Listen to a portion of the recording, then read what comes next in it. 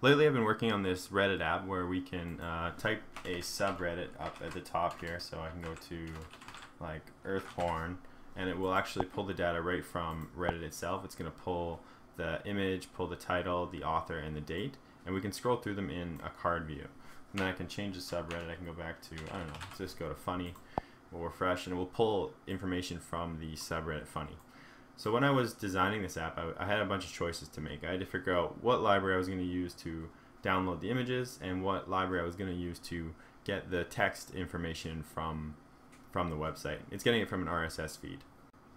Regarding uh, media, the experience I have with libraries is Picasso, the Universal Image Loader, and Glide. Regarding the other information, like the, the text itself, the experiences I have are with Volley, HTTP with AsyncTask and the OkHttp.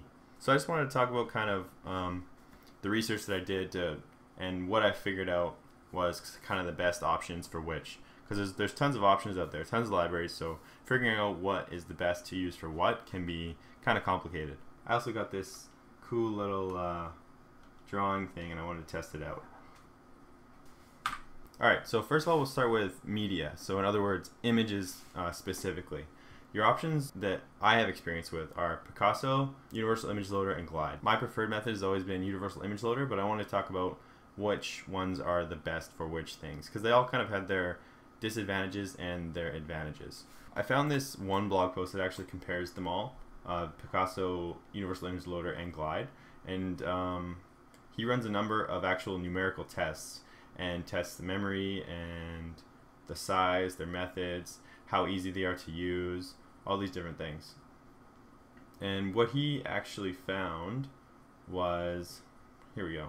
So with existing projects, he recommends Universal Image Loader because of its customization, low memory consumption, and good balance between methods and size. And I, I definitely have a really good um, really good experiences with Universal Image Loader. I do find it very easy to use. I can just throw it into whatever project, do some minor customizations, and it always works really well. So it's it's there's a little bit of SEP involved, but it's not really a big deal. And Glide, Glide is also very easy to set up, but it looks like if we look at his results, Glide is definitely the slowest of them all. So if you're if you have maybe he says yeah, so if you have a very small project, Glide can be the one that you want to use, but otherwise probably not a good idea to use Glide. Picasso I actually thought was going to be the favorite out of everybody because every every everywhere I go, any you know Stack Overflow post or anything, everybody always talks about Picasso, but um, it's actually the hardest one to set up. And apparently, according to this blog post, it actually leaks memory quite badly. So maybe not, uh, maybe not the way to go with Picasso. At this point, my my personal favorite is still Universal Image Loader because it's it's kind of like the balance between easy to use and it seems to be pretty efficient. So that's that's kind of the end comparison with those three. So after all that, I am going to give the my my favorite to the Universal Image Loader. I'm gonna I'm gonna deem that my favorite for downloading media, and that's actually what I did use in my uh, my Reddit app here, and it's what I use in most of my apps where I have to get media. Okay, so the next thing we're gonna go over is actually downloading text from the internet, so like an RSS feed. So let's go if, if you don't know what an RSS feed, I'll go to uh, go to Reddit. Oh, Reddit RSS feeds. This one. Here we go. Okay, so here's here's how we can get RSS feeds. We can just type the different subreddits here, and we can get an RSS feed, which is basically just like a big text output of uh, a particular subreddit. And you could go to a code beautifier. RSS viewer, that's the one. Okay. So let's get this link, and I like to look at it as an RSS viewer. There we go. So this will make it look a little better, but basically this is what you're you're looking at. You're looking at parsing this kind of information. So we got to think, try and find the best library that's going to be the best for extracting this data. So you see these tags, and we want to get the information that's in between those tags. So yeah, the the choices that you have, well, that I have experience with are going to be Volley, HTTP, uh, Retrofit, or OkHttp and I just want to talk about all of them. So regarding downloading that text information from the internet, like RSS feeds, it's going to depend, but some are going to be better for like large amounts of data and some are going to be better for small amounts of data. I read a number of blog posts that compared them actually like numerically So they compared Volley, HTTP, Retrofit, and OK HTTP. And right off the bat, just without even really getting into many details, HTTP with AsyncTask loses almost every time in like complexity, in speed, just everything. So right off the bat, HTTP with AsyncTask is just not going to be usually your way to go. I've only actually read one thing that ever said that ever said this was the way to go, and that was when you're going to be downloading uh, large amounts of audio or video or like uh, some kind of streaming. I don't have a lot of experience with streaming audio and video, and this is the only thing I've really read about it. So I'm gonna give this to um, this to HTTP. It's gonna be I'm gonna I'm gonna say that it's gonna be your go-to for downloading audio or video. But if you guys have any experiences with downloading audio and video, please let me know in the comments below, and I can update this video with uh, the best kind of library for that. Okay, so now we're left with Volley Retrofit and OkHttp for downloading uh, text. So we'll start with kind of small amounts of data. Volley, from what I've read, is going to be your choice for any small amount of data. Volley operates with a queue-based system, so if you have small requests where you're requesting very small amounts of data, Volley is going to be your go-to. Volley also is very easy to set up. There's not a lot of code involved. You just follow the instructions on the GitHub page, and it's it's super simple. So for small data, small single requests where you're adding it to like a queue-based system, um, Volley is going to be your best your best option. Not saying that you can't use the other options, but Volley is just going to be easier for you. So I'm going to write a little thing here that says small amounts of data. So we absolutely could have used uh, Volley for reading an RSS feed. Definitely could have. It's not a ton of data that would have definitely got the job done. Volley can be used for things with large amounts of data, but once we get to talking about retrofit, I'll explain why I think that retrofit is going to be better for when you're dealing with large amounts of data. So overall, Volley is good. Volley is also supported by Google now, so it's it's a it's a really good library. I use it all the time. It's it's good.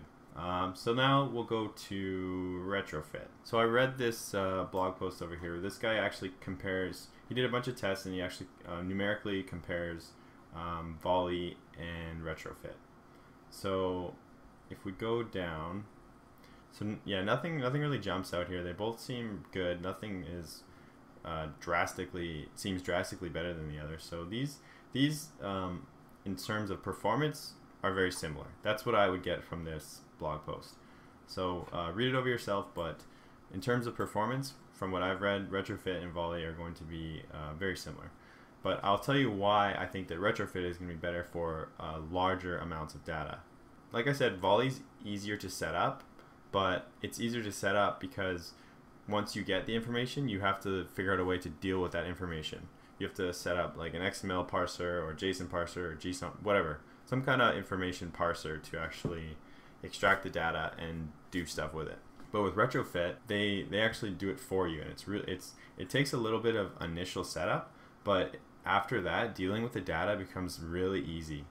You can set up object classes, and like like if you have XML like with um, like with the RSS feeds, you can set up object classes. So I would I would create an object class feed. Inside feed, it would have all of these properties. So you'd have like category, updated, icon, ID, uh, so on, entry, and then you can create another object class entry that's inside the object class feed. And and it just it just helps to organize the incoming data. If you have a specific format of incoming data and you know what it's going to be every single time retrofit will make your life really easy.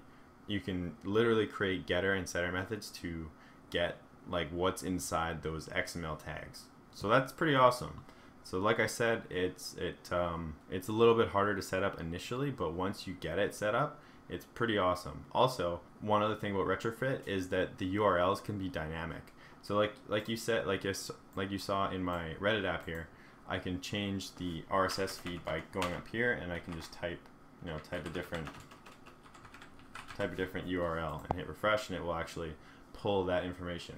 But what it's what it's doing is um, in the app itself, all it's it's actually changing the URL. So it's changing this section of the URL. So I could change that and it would give me a different RSS feed. That's what it's doing. And as far as I've seen, the only way to do that in Volley would be to like actually hard code it in. I don't I don't know. It, it might be possible.